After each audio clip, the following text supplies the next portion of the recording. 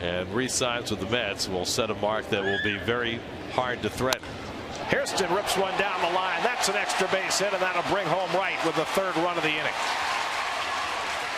Scott Hairston with his first hit of the series, an RBI double, and it's 3 0 New York.